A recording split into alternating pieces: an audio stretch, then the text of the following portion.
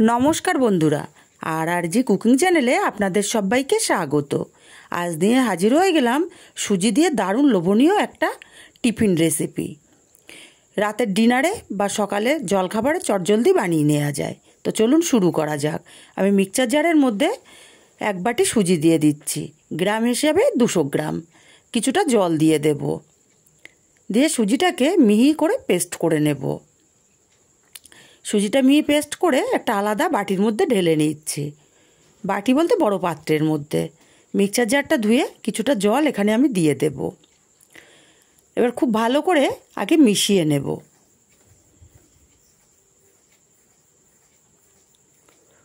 খুব ভালো করে দেখুন মিশিয়ে নিয়েছি। এখন এখানে দিয়ে দেব স্বাদ মতো লবণ।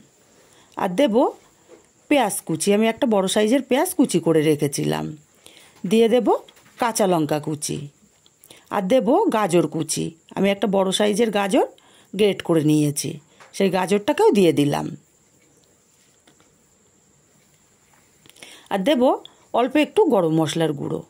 খুব ভালো করে সব উপকরণগুলো মিশিয়ে নেব।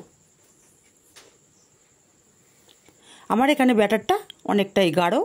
আমি কিছুটা জল দিয়ে পাতলা করে ব্যাটারটা তৈরি করে নেব।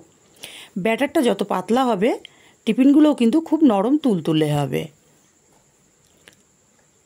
ঠিক এইরকম একটা পাতলা ব্যাটার আমাদের রেডি করে নিতে হবে। এখন এটা আমি এক সাইডে সরিয়ে রেখে দেব। আর একটা বাটির মধ্যে আমি দুটো ডিম ভেঙে নিয়েছি, অল্প একটু লবণ দিয়ে দিলাম। ডিমটাকে ভালো করে ফেটিয়ে নিতে হবে। খুব ভালো করে ডিমটাকে ফেটিয়ে নিয়েছি, এবার সোজা গ্যাসে চলে যাব।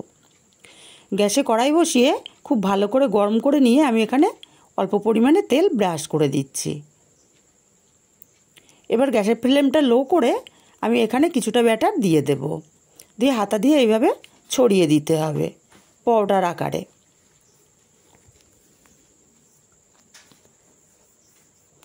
দশ টাকার এক প্যাকেট সুজি দিয়ে কিন্তু রাত্রিবেলা দুই তিনজনের টিফিন খুব ভালোভাবে হয়ে যায়।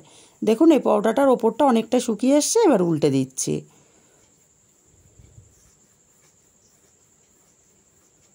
উল্টে দিয়ে আমি যে ডিমটা ফেটিয়ে রেখেছিলাম, অল্প পরিমাণে ডিম নিয়ে নিয়ে ওপর থেকে ছড়িয়ে দেব।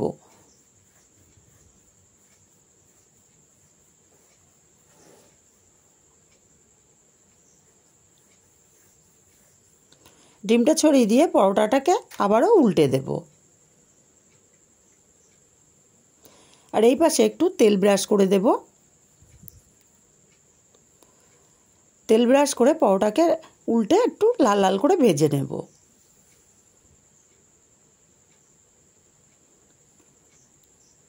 এভাবে অল্প অল্প করে তেল ব্রাশ করে দিতে হবে। অপর পাশটা উল্টে আমি অপর পাশেও আবার ডিমের ব্যাটার দিয়ে দেব। দুই পাশেই কিন্তু অল্প অল্প করে ডিমের ব্যাটার দিয়ে দিতে হবে।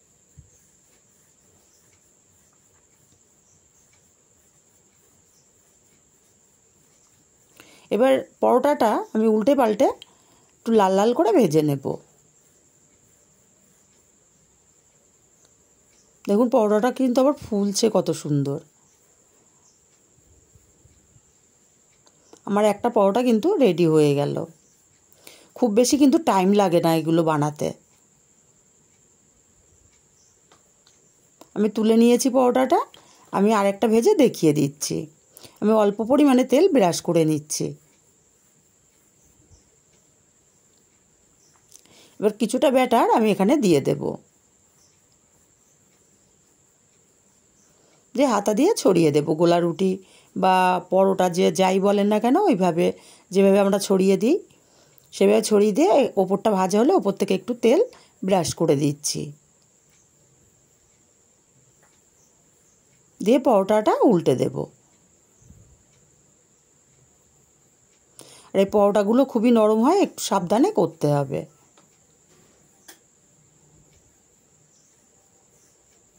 এবার ওপর থেকে আমি ডিমের ব্যাটার দিয়ে দিচ্ছি। অল্প ডিমেও কিন্তু দারুণ মুখরোচক হয় খেতে।